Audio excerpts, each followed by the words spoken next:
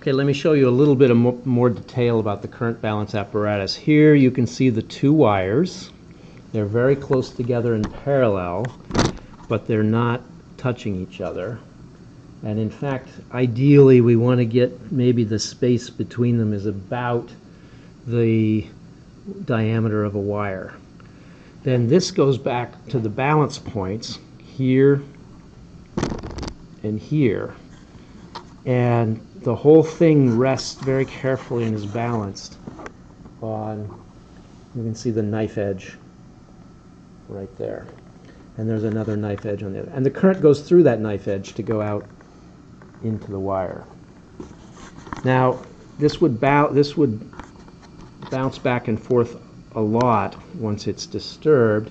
So we have this little paddle that goes out, and these are two magnets on either side and the magnetic a magnetic field goes through this aluminum uh, paddle and that provides some magnetic damping.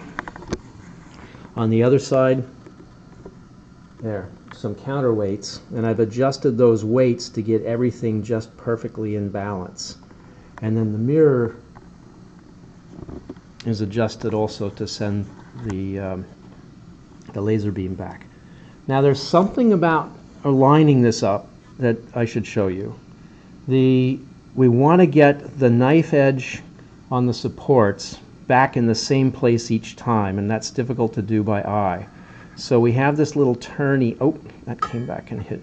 You can see how much it bounces. These little turny things um, have little points on them. You can see it from from that side. This is, this is a little point, and it goes up into a cone underneath the bottom of this. So what you do,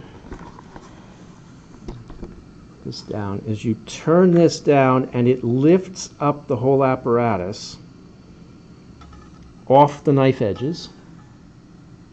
And then I lower it very gently down and it always puts the knife edges in the same spot each time. So if you ever bump it, if you ever get it out of alignment, you have to go back and turn this knob to get those points to lift it up and, and lower it gently back onto the knife edges in the same position. And then we park these down out of the way.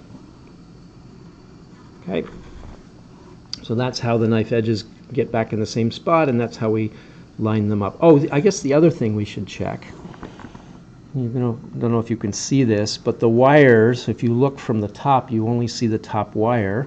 It's possible for them to get out of alignment, but they are very parallel. And I have adjustments where I can move them in or out.